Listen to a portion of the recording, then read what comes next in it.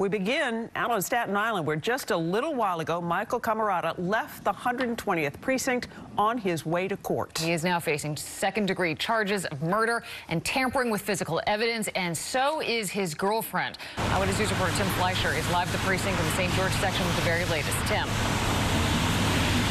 And detectives here at the 120 precinct pulling this case together after the medical examiner made the positive identification of the victim. Now, the estranged husband of that victim faces multiple charges and will be arraigned this afternoon.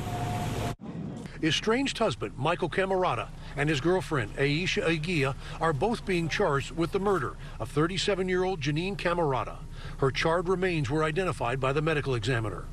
NYPD detectives searching for Cammarata, a mother and teacher who had gone missing, discovered her remains in this storage facility in Arden Heights early Thursday morning.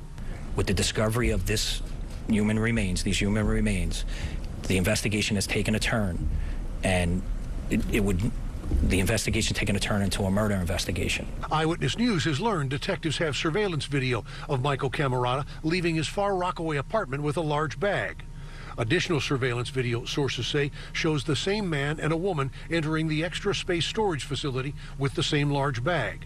With a search warrant, they discovered the body that was charred and unrecognizable. It was discovered in a bin with a bag wrapped around it.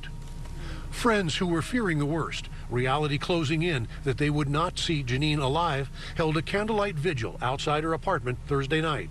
Yeah, I'm angry and upset. Attorneys had served Michael Cammarata with divorce papers last week. The couple has a history of domestic violence complaints going back three years.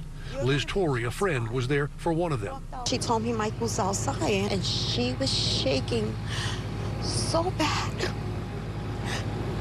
And I told her, don't worry, I'm gonna take you home. You're gonna be just fine. We walked out the store together. He started following us with his lights off.